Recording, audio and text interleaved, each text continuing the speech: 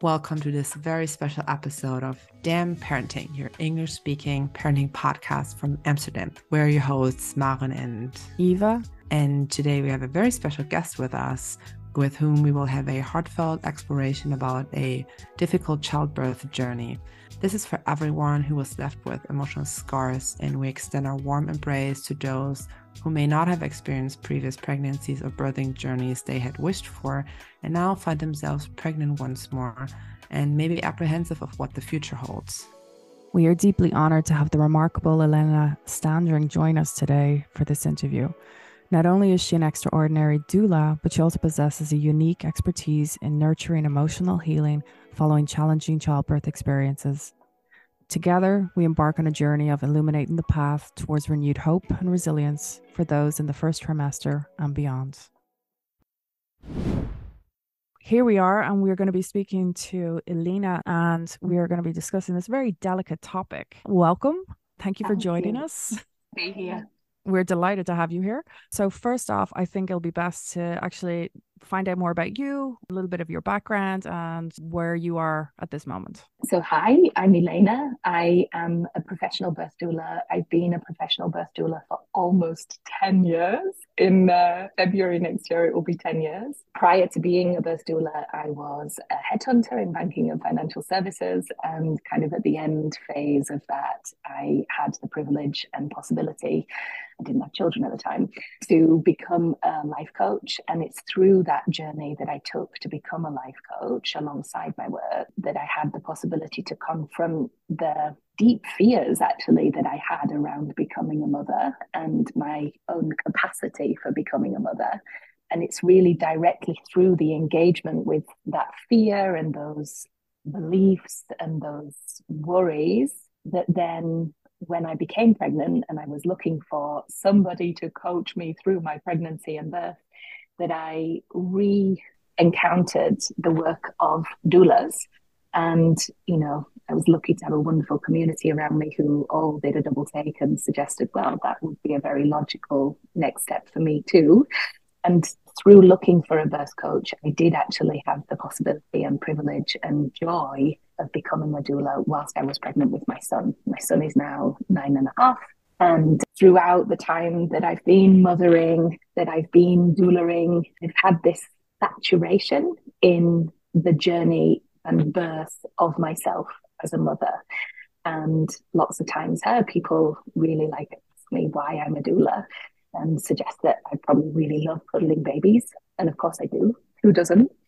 But actually what I really, really love is bearing witness to as a holy witness to mothers, fathers, partners, people as they become parents. And there's a very natural extension of my coaching work and my doula work and this kind of joy that I have at witnessing evolution. I've also had the possibility to really buckle down and, you know, get knee deep into trauma. And so I'm also a trauma specialized doula and I teach lots of different birth workers, midwives, gynecologists, Kraamverzorgende. That's the Mary Poppins that comes after you have a baby in the Netherlands, all about trauma informed care for birth. And think that's initially how we started talking about my participation in your amazing podcast because we were thinking that we should talk about birth trauma. And then we thought, okay, there's actually lots of other things to, to talk about. Right. Yeah, it's a it's a very delicate subject because one of the things we had spoken about ourselves was the fact that trauma is a huge word. And it's, it's not a word we would easily kind of say, I have trauma, because we see trauma as like a, a giant thing that's usually associated with wars or with abuse or things like this. So I think one of the first things I would love to be able to really delve into is to examine the terminology of birth trauma. Like how do we identify that we we are in that position, that our last birth or any other birth that we might have given to? How do we know that we can say, hey, you know, this it's not sitting right with me? You know, how how is it Yeah. that we can use that to identify this? Big question. So, one of the things that I would say is that a very large proportion of people who have given birth are walking around with no idea that they are suffering from the byproduct of unresolved trauma around their births. I do think that for decades now, I mean, in some ways, fortunately, but in other ways, unfortunately, I do think that for decades, women and birthing people have been diagnosed with postpartum depression when actually they are suffering from the immediate side effects of a deeply traumatic event. I think that whilst trauma and PTSD and how trauma can affect us has become a lot more commonplace a topic in uh, public discourse, public rhetoric, we do still have a long way to go in acknowledging how traumatic birth can be as society because, you know, as mothers, as parents, one of the biggest things that we come up against as we begin to try to vocalize or voice how we're feeling about our birth experiences, people try and sweep it under the carpet and they'll say, Well, you've got a happy, healthy baby. That's all that matters, right? That's what it was all for. It was worth it in the end. And so, oftentimes, even before somebody's rattled this platitude off, something is happening internally to say, and I should be grateful because I know XYZ number of people who can't even get pregnant. I know XYZ number of people who have suffered from multiple infant losses or miscarriages. It's not that bad. My baby's fine. I'm here. I'm standing. And, you know, interestingly, a couple of days ago, I was watching a symposium for birth workers, and there was a really wonderful labor and delivery nurse from the States. And I've been following her stuff for two or three years, and I've never really like heard her full personal story. She has been a birth nurse for like I don't know, 13 years, I think 12 or 13 years. And she, by the time she had her first baby, she had uh, attended hundreds and hundreds of births. I mean, the industrial complex of the birth system in America is also something, but that's a whole other podcast. And she felt like, I know everything I need to know. I'm going to give birth surrounded my, by my colleagues who I love and trust.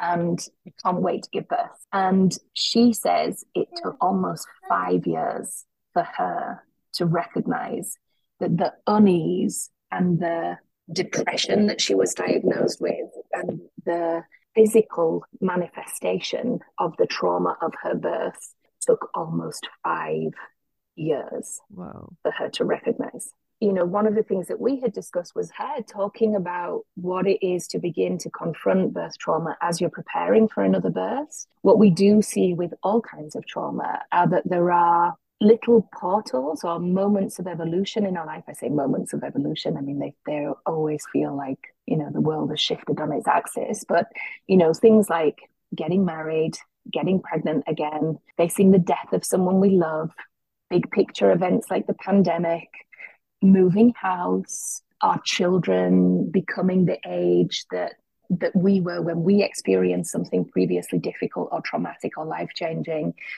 these are moments in life when trauma can, previous trauma can unexpectedly surface within us. And that is sadly why uh, a lot of people don't recognize that they've experienced birth trauma until they need to prepare for a new birth. And then it begins to feel insurmountable or extremely distressing. Yeah, this was actually one of the questions that we had also written down. When is the, put this in quotation, the typical time when people realizing, oh, there is something broader going on? And you've just said that it's so individual and it can be triggered by any specific life event. And of course, another birth is a, a very big trigger because it's directly related but then you also just said any big life event where a lot of shifting is going on and that might even be moving to another country or like a, a big rattling of the environment that i'm in can surface these feelings so and th- that's also then maybe another question where i guess then it's also possible after years and years to address this right so you can also work with clients when they said oh I've given birth. I don't know, maybe they've multiple children already, but then they realize after five years, actually, like something is coming up now. I can identify it. And so it's possible to still go back in retrospective, even if it's years, and try to address it. Always, always, always. It is never too late to address a traumatic experience in your life. And it, you know, it can be, that's also the thing, huh, that uh, if you if you're facing giving birth the first time that it can be that that triggers trauma from a mm. previous experience and often huh, we think in our rhetoric around you know positive vibes positive vibes in pregnancy being positive for our babies to have a positive experience in our bodies then we can often be left with this thought like oh but i shouldn't be looking under the carpet at these shadows right now because that's not going to be good for our baby for my baby mm-hmm. you can deal with trauma whether that's previous birth trauma or previous life trauma when you're pregnant and if anything like that comes up, I would encourage everybody watching this to invest the time and emotional energy in doing it. Because we do also know, unfortunately, that previous traumatic experience or previous birth trauma does leave people more susceptible to experiencing their new birth experiences as traumatic. Mm.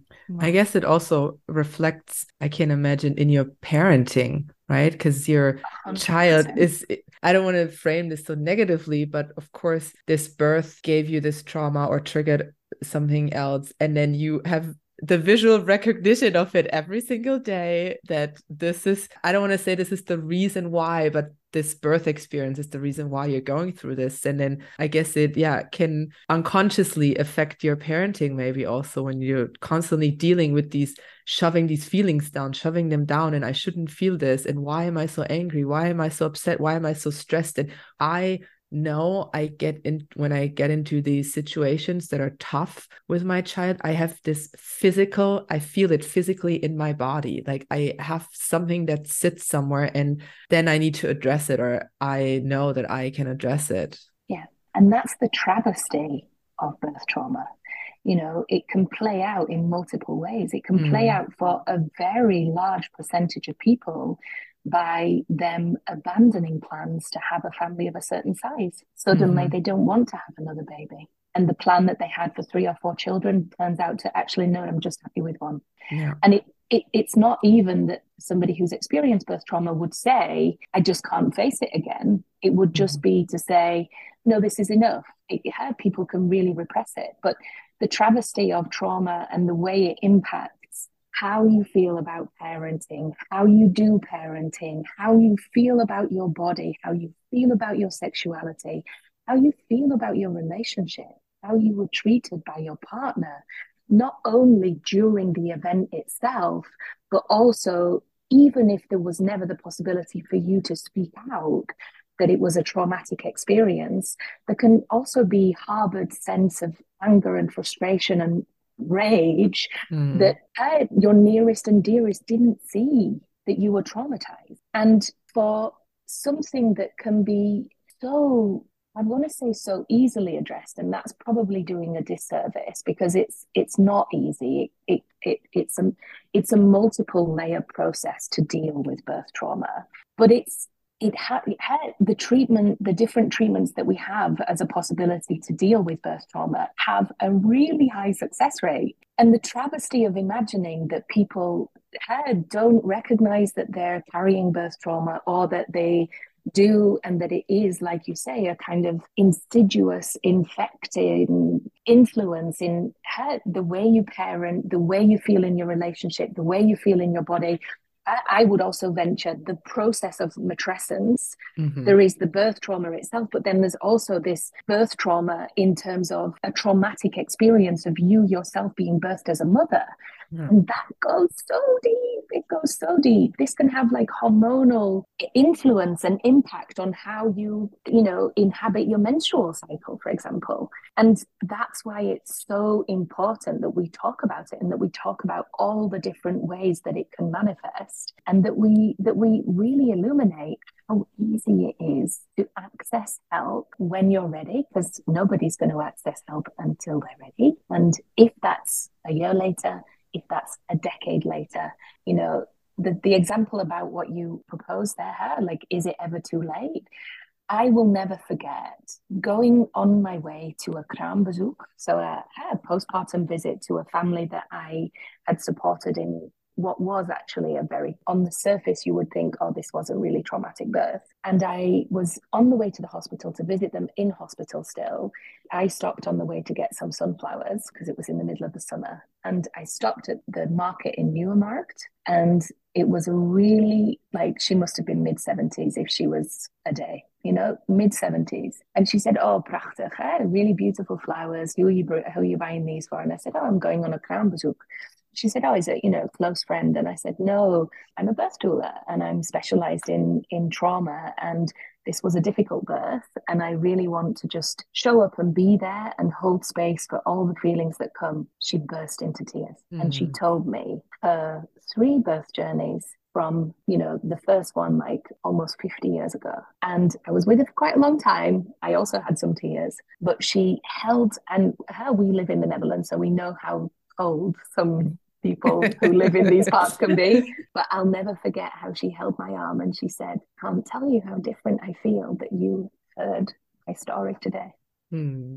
Makes me tear up hearing that. Yeah, I'm just, yeah, I literally am like, um... oh, you wow. know, it is, and that is the thing that, and that's what's so beautiful about what you're doing. Huh? Like when we hold space for each other, that's also the point about birth trauma. It doesn't even have to be like a therapeutic relationship, but it does need to be that you have an experience of sharing your story and feeling seen, heard, respected, and cherished just as you are, just as your experience was. That changes so much already. And of course, any professional is also going to say, I'm so sorry you experienced that in that way. That must have been so scary and so disappointing, even though you're clearly a mother who is overjoyed. One doesn't detract from the other. That's yeah. it, right? With yeah. parenting, the ambiguity and the yeah.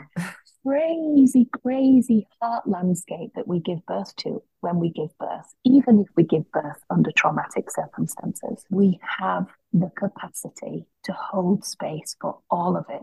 It's all true, and one part doesn't detract from the other part. Yeah, I think this is so important what you said this the duality of these feelings so both can coexist at the same time. I can yeah. deeply love my child and being a mother and I can also deeply hurt from this experience and both can yeah coexist at the same time. And I think it's also very important what you said the we feel when we're in these experiences and in these feelings that it's we feel this is so big and so overwhelming and we're standing in in front of this big pile and this big mountain and we feel like this is just too much so we shove it aside but when you say it is and you said we don't want to use easy in this context but it is no. then it is then easy when you see how quickly and effective you can address it. And I hope this is for everyone who's listening out there and is following their own journey while listening that it is relief and it can be addressed and it can be addressed with help. And it might seem so scary and big and overwhelming, but there are mechanisms that can quickly change so, so much. And like you said, it can be this conversation at a flower stand where you just had 10 minutes of someone listening, you wanted to unload it, and then maybe that was what you needed. Because sometimes we also think of trauma, it has to be this big, giant, painful process to peel the onion. And it can be this, of course, but it can also sometimes be thank you for just letting me unload this here and let sit on it and look at this big pile. We can appreciate it. And now I can let it go. Yeah what I want to say also as an extension to that, and this is really her, one of the big focuses of the course that, that I offer for professionals about birth trauma and about trauma informed care. What we do see as birth trauma in its prevalence begins to be more and more and more recognized is that care professionals, particularly her, like more allopathic or like Western medicine minds, they want to know what to do to take the pain away. And actually, one of the things that I think we need to talk about more and more is the gift of post traumatic growth And this would be for me, if you talk about, you know, standing in that cave with all those stones and that mountain in front of you, post traumatic growth is the beginning of this light shining through all that. Post traumatic growth is a term that was coined by Tedeschi and Calhoun in the work that they did with American veterans who were stu- who they studied uh, what PTSD is how it manifests, how they can look to support PTSD healing in veterans. And they identified this term, they coined this term, they identified that post traumatic growth can be measured across five different regions of, you know, how you show up in uh, regions or aspect of with regards to how you show up in the world. And this is about deep internal shifts and changes in who you are, how you see yourself, how you show up in the world, how you engage in relationships, how you identify and pursue your purpose in the world, your relationship to your spirituality and to your concept of the meaning of life. Now, for us to overlook the capacity of post traumatic growth, and crucially, post traumatic growth only happens when you actively engage in the process of healing from a traumatic event. So it comes only when you have the the willingness, the support, the space, even if it is that 15 minute conversation at the flower stall, but that you have this capacity to actively engage in how you truly feel about this experience, that you have this space to truly confront how deeply this affected you and that you begin to unravel the layers and to relinquish the layers. That then makes space for this really hopeful scenario of the internal shift and growth and evolution that are embodied with the process of post traumatic growth. So you know it's always a paradigm shifter in the course that we teach because you know we have a lot of medical professionals in there who are like then suddenly realizing oh but hang on a minute then if we're offering EMDR to people who've just given birth before they've had a chance to recognize and acknowledge that they're carrying birth trauma then we're also taking away the possibility of them having post-traumatic growth because mm-hmm. the brain doesn't have the time to actually recognize the trauma mm-hmm. Mm-hmm. So, in some ways, you could also say how the hope is very simply that sometimes trauma, however wrong it is that it's experienced, and I'm definitely not taking away from that, can be a portal to really beautiful, positive change. And the idea that even just one person listening to this can actively recognize that maybe this is applicable to them and that they have that possibility to then embrace the courage that it takes to ask for help and that then they experienced post traumatic growth whilst they're parenting tiny humans, medium sized humans, teenage humans. This makes me hopeful. That's um yeah, I mean one of the things here in the Netherlands is like the health system is great and you know they're you know everything's kind of covered and so that's great but one of the things I know personally is to try and get therapy here it can take a very very very long time because the waiting lists are just it was insane in covid times and obviously thereafter I mean we're all kind of still, you know, getting a foot. There's a lot more mental health people available and there's a lot more options, which has been amazing. So, for those out there who aren't sure yet about how to do it or what to do, can you just even provide like something that they can begin their process at at home in their own space that they're able to do themselves comfortably before taking an active step. That was something that might give them the strength to start it and then maybe give them the strength to proceed to go to the huisarts to say hey this is what i really need. Yeah. So here we do need to embrace nuance. I would love to say that there are three steps that will suit everybody but the reality is there may be some people for whom these self care steps would be potentially dangerous for. You know, one of the books that I would recommend is How to Heal a Bad Birth. It's a very tenderly written, well structured book. It's a very big book, and that can feel like a mountain in front of you, but I really do recommend it because it's really worthwhile. But I think that with respect to the nuance and the discernment that I do want to encourage here, you know it's really that like as as Maren shared how that you can have these moments in parenting where you just notice from your physical reaction like oh i i am out of my window of tolerance for this intensity and i'm feeling it in my body but actually this is like overwhelming my nervous system my mental functioning my my brain my psyche. If you get to that stage then put the book down wait for another time for it to be the time to pick that book up very very very simply have a think about your community your family your online community, a professional that you've heard good things about in the community. Maybe it's not, you know, an insurance backed allopathic professional, but identify somebody with whom you feel physically safe and approach them and ask them if they have the space to hear jumbled, mixed up feelings and ideas about what happened during your birth story ask them if they can hear that and if they can just listen and not say any platitudes, not try and explain anything, not try and justify anything, so that you can have this time to uninterruptedly tell your story. That already can change so much. There are a lot of things you can do in the name of self care and taking care of yourself but when it comes to traumatic events, often we need to look at how the autonomic nervous system functions. There's a really good YouTube video actually on uh, like it's a it's an eight minute explanation of the autonomic nervous system. I'm going to send you ladies that, and then you can post that also like when you when you post this because that could be a, a, great resource as well.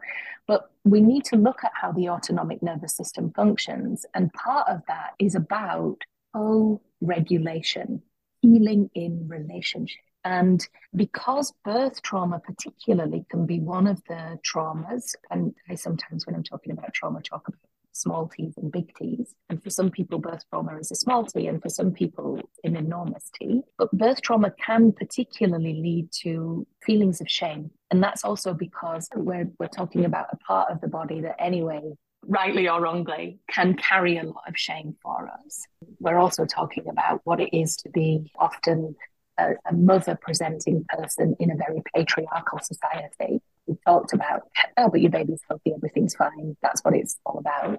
So there can be so many perpetual compounding senses of shame that actually making that step to share your story in relationship is already such a huge, profound healing.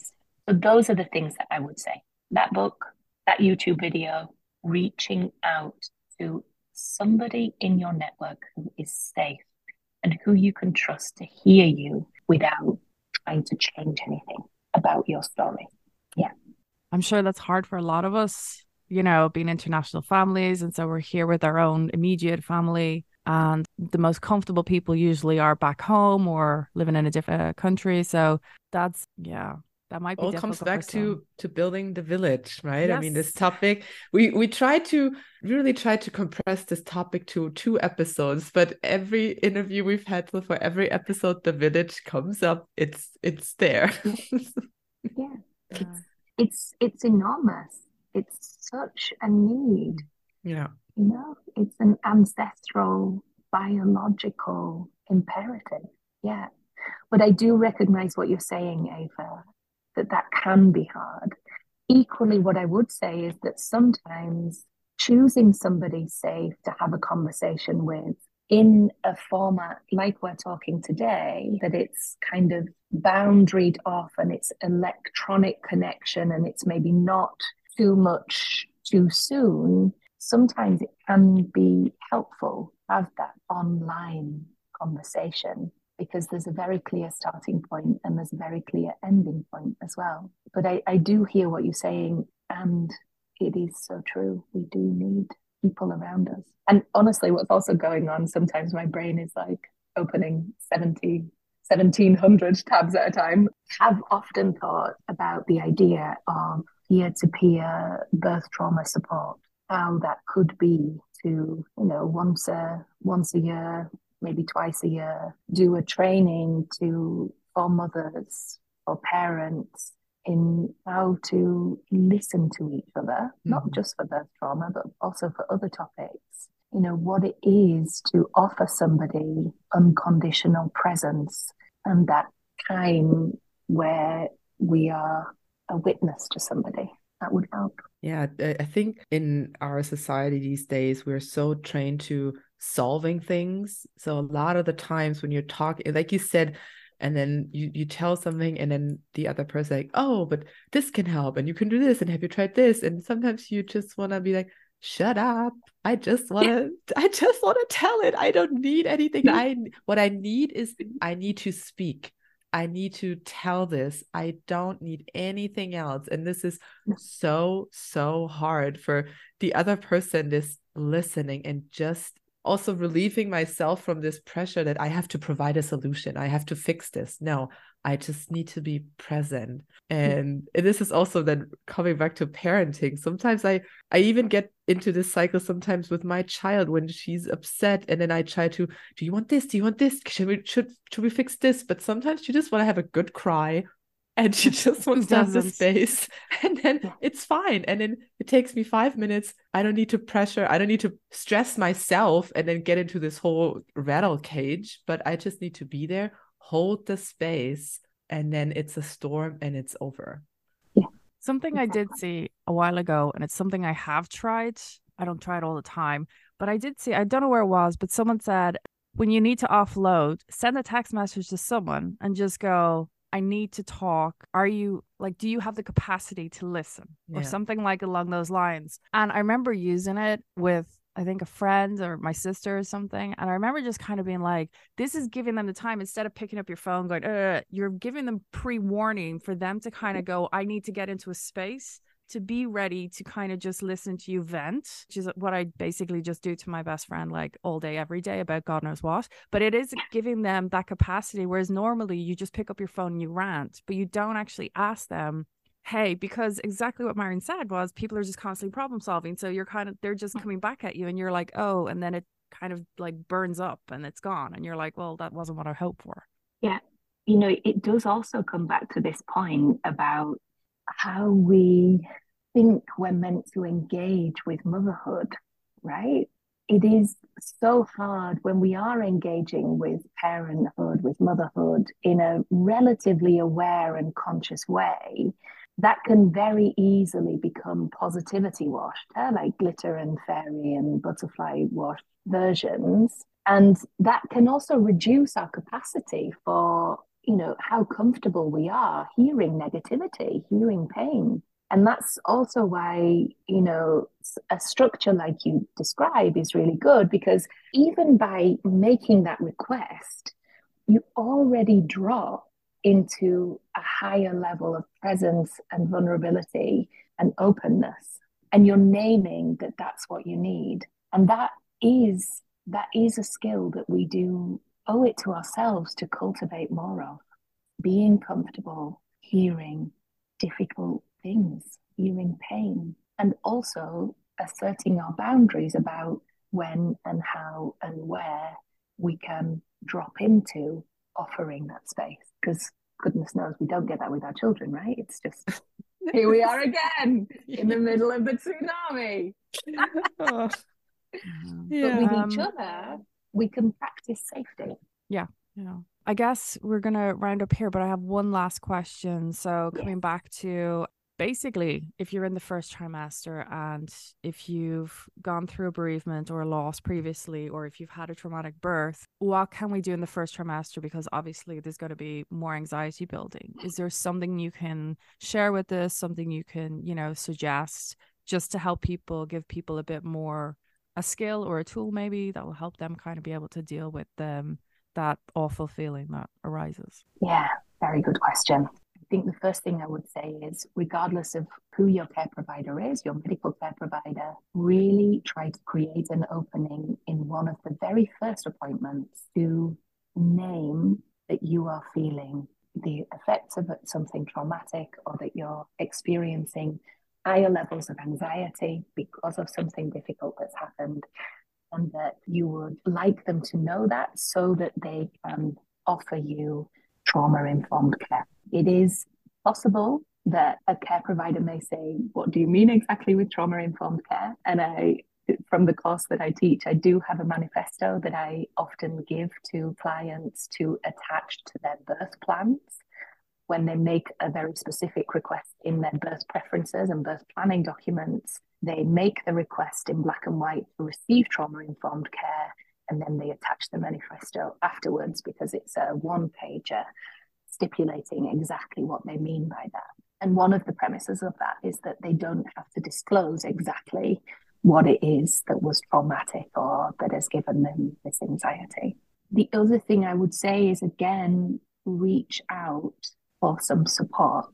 It is not too late to address those topics in your pregnancy. Your baby somehow has existed in your womb your whole life, in your mother's womb their whole life, and also in the womb of your mother's mother. So it's highly unlikely that this growing baby is going to encounter anything that somehow energetically they've not encountered before. Take that weight off your shoulders. It's okay to feel sometimes some difficult feelings. And also, you know, I know it can be a very difficult topic because I know it's a little bit kind of riddled in privilege. Really consider the possibility of working with a trauma informed doula in your pregnancy, for your birth, and for those weeks and months afterwards, because the companionship and the unconditional presence that a doula offers is a game changer. No matter how pregnancy unfolds or how birth unfolds, that presence, that relationship is or should be, if it's a good one, an unconditional holy witness to you. I can testify to this because I I've had a doula and I've my birth changed very dramatically from what I had envisioned and she was my rock and I felt safe because she she was like you said she was a witness to everything. And so yes I can only I can only say yes to everything you just said regarding the doula. Yes yeah there are student doulas I, I can't speak for every doula, but you know, I can speak for myself when I say, you know, I would literally be happy for somebody to pay me something on a monthly basis for a year or two so that they could afford to have me by their sides. I am pretty boundaried about my fees, and I think we should also normalize doulas being boundaried about their fees because, you know, so much to be on call 24 7, but there's always, always a possibility always a possibility. And, you know, I am a doula. I've been a doula for 10 years. I would never give birth without a doula. Never. And I do think that the money that you spend on a doula is going to pay dividends and offer a lot more value than money that you might spend on the latest bugaboo. Yeah. Yeah. Agreed. Sorry. no, no. Sorry, yeah. bugaboo. Could also, you know, could also be Joolz. I don't know. We're not uh, associated no, or affiliated also, with any brands. but this is also a, a, nice thing when when especially with a second child, when you already have everything and then the relatives ask, Oh, what can we give? What can we give? And then say, I want a doula. So anyone don't spend, I don't need another romper, I don't need another rattle, I don't need another thing. I need support. And this is a good thing. Then everyone can chip in and this is what I really want, especially with the second one where it's like, oh, what can we give you? This, you can give me, me support so I can birth in the way I want to.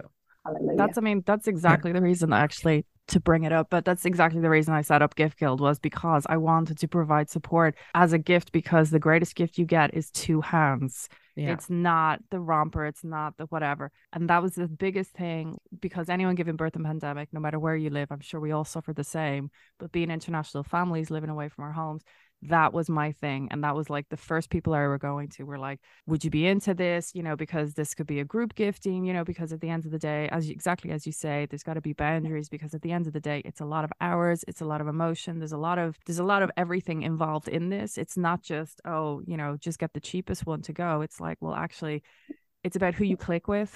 Um, exactly and so it's just that. yeah and so it's so that was that was actually the whole premise of the registry was just literally to say you know treat yourself you know baby as long as mama's good as long as papa's there you know i mean as long as everyone's there and present baby's going to be just fine baby's going to thrive yeah. exactly yeah. yeah exactly The one last thing I would say about doula work, sometimes people can have, you know, question marks about somebody actually being there on the day. I could talk for hours about how that's not a thing, but if that is really a thing and it's a blockage, don't overlook the fact that a lot of doulas also do work where they're not on call, where they're not going to attend your birth. You know, one of the things that I do a lot is uh, a four session kind of package of care.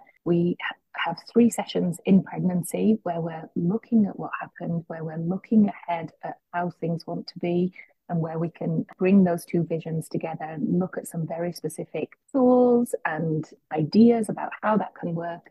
And then we have that debrief that you've given birth and you get to be witnessed and held as you process how the new experience was.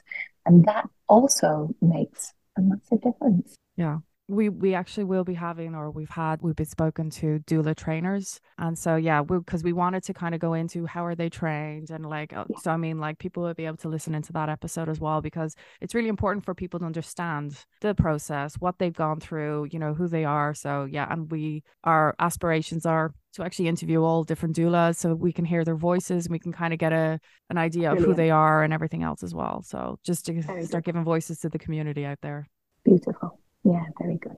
Yeah, I guess with that we're going to wrap up. It's been a lot longer than we anticipated, but that was the idea was to hold space and actually take however much time we actually needed to because it is a very important topic that we don't want anyone to ignore and hopefully this might even as you say like even one person listening might kind of go actually maybe I need to revisit whatever that might be we'll see how it goes. I mean, everyone can contact us. We'll pass on your details. You know, they'll be able to find all your information um, in the show notes. Thank you so much for your time, Ilena. And for those listening, we've actually, upon our first chat with Ilena last week, I think it was, we actually have decided to actually run a series with Ilena to talk about different kind of elements of trauma and um, birthing and in through different phases of pregnancy and postpartum. And I'm sure there's going to be a lot more episodes to come and we'll be hearing the wonderful voice of Ilena. And hopefully we'll be able to do it in one room as well because yes. currently we're in very different places. Yes. In different yes. countries. Yeah.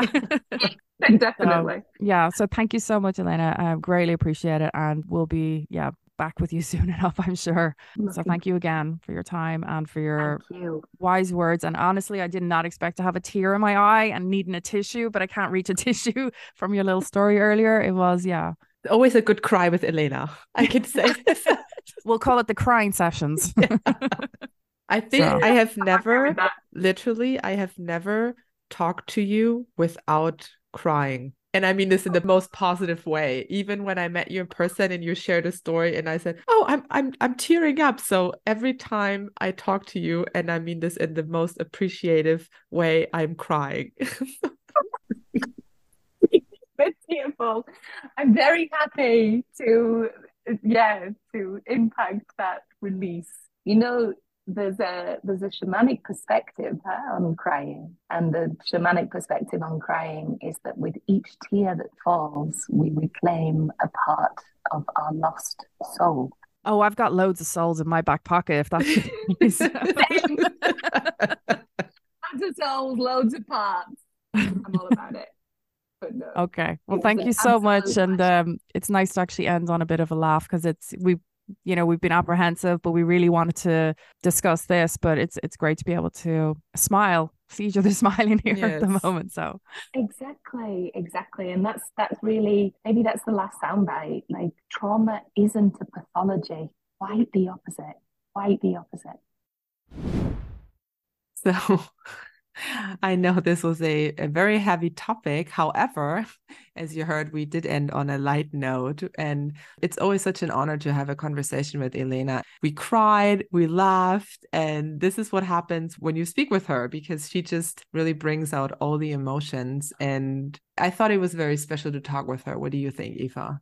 Absolutely. You know, anytime I've spoken to her, you have this thing of, oh, I can just tell her anything. Uh. She's she she actually is like this open space. She is that person that everyone needs in their life. Yeah, I just I you know, honestly, I'll never see sunflowers in the same light.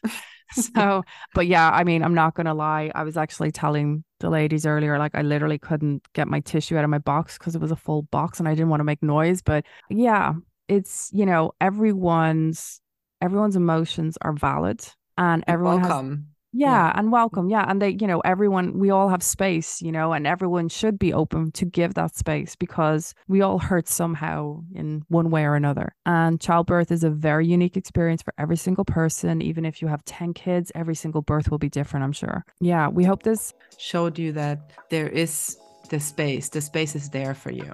there are people there and there's Yeah. people being trained and ilena as she said herself she's actually training people and hopefully you know you will be able to find your person be it your peer your family your friend or your doula that you'll be able to entrust and maybe you know have an open conversation Yeah. And now I will go off and bulk order a bunch of tissues because we have Ilena back for more episodes and I need to prepare myself. yeah i'm already thinking like oh wow we're gonna have to start buying shares or something in the tissue company. We're really looking forward to this new series that we'll be running with ilena. We're, we're actually in the works of trying to figure out how to provide it because it's such an important and it's in the shadows you know and we want to bring this to light and we want everyone to know like ev- all your feelings are valid and we want people to know there are people out there ready and willing to help you Exactly. We hope this episode was helpful for everyone listening, and we will be back with more from us and Ilena. And until then, we'll hear in the next episode. take care